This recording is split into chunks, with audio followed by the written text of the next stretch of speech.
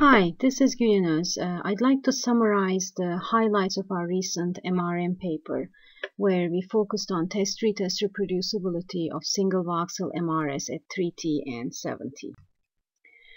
Um, we focused on test-retest reproducibility uh, because that is an important factor that determines the clinical applicability of the method, namely uh, only those disease or medication related changes uh, will be detectable in individuals that are higher than experimental and physiological day-to-day uh, variability.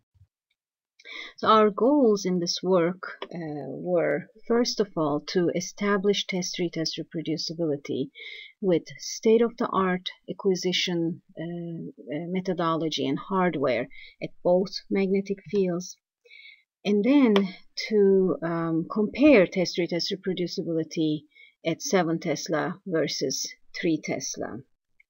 Um, uh, a number of studies have shown that lower Cramer-Rao lower bounds are obtained at 7T versus uh, 3T, but we asked the question if those uh, in fact translate to lower test-retest coefficients of uh, variance, and if so, for which metabolites a summary of our uh, methods. So we uh, scanned six healthy volunteers four times. These were weekly scans at both 3 Tesla and 7 Tesla.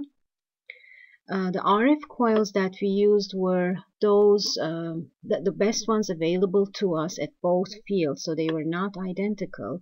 At the 3T, we used the standard setup with body coil excite and 32-channel phased array receive, whereas at 7 Tesla, we used the 16-channel trans uh, transceiver array.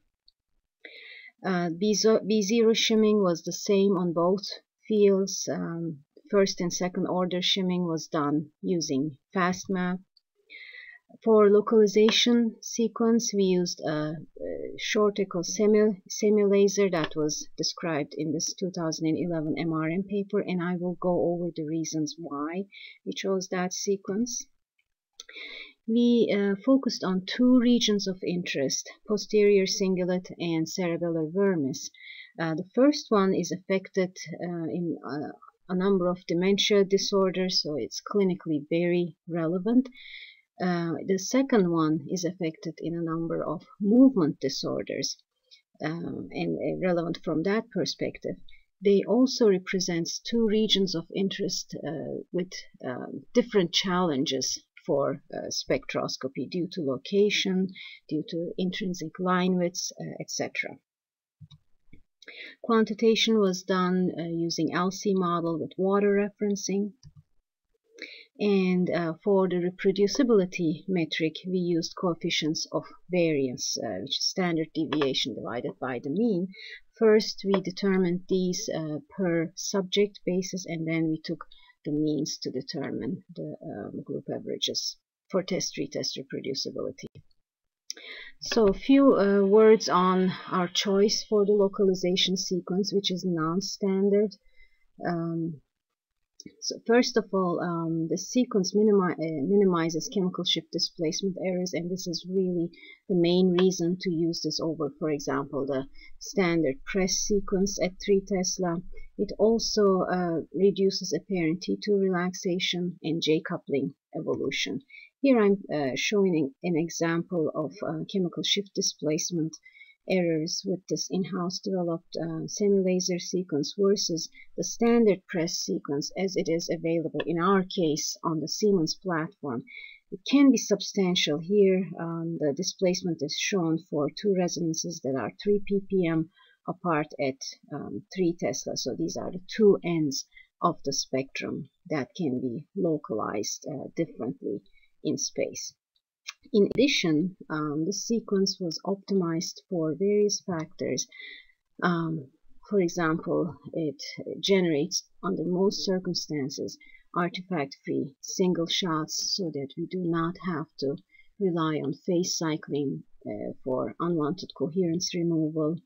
It uses um, the VAPOR water suppression method that's, that was described by Tkáč et al. in 1999 in MRM, so it has high water suppression efficiency and we routinely do single shot frequency phase correction as has been standard in a number of research labs for various sequences.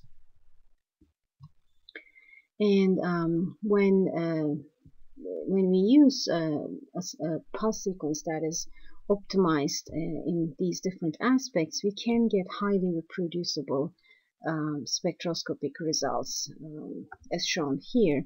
So here we are showing our data from one individual um, for both regions of interest at, uh, at the two uh, magnetic fields and each panel shows spectra overlaid, the four spectra overlaid that were uh, obtained from this individual. As you can see, uh, there is very little difference from session to session and there is great um, reproducibility.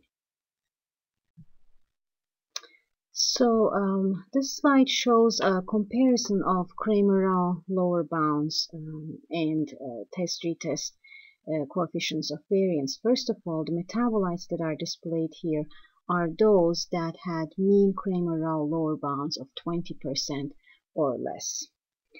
So if you look through the Cramer-Rao lower bounds at 3 Tesla versus 7 Tesla, in most cases uh, it is clear that um, the 7 at 7 Tesla we were able to obtain lower Cramer-Rao lower bounds and the stars show the statistically significant differences and this was expected. This was shown by a number of uh, other studies previously. Now surprisingly when we looked at the test retest CVs for the same metabolites we did not see a corresponding improvement except for um, a few metabolites as shown here. For example in the cerebellum glutamate glutathione and glutamine were uh, in fact uh, quantified with better test retest CVs, which uh, was statistically not significant, but the trends were clear. So we could uh, conclude from this that lower Cramer-Rao lower bounds do not always translate to lower test retest CVs. Another point to highlight on the slide is that um, five metabolites, namely total NAA, total creatine, total choline, mannose, and glutamate, were quantified with uh, test retest CVs of 5% or less at both fields. So we wanted to investigate uh, this lack of improvement in test retest CV at 7 Tesla versus 3 Tesla a little bit further and we wondered if we reached a threshold of reproducibility at the um, spectral quality levels that we had.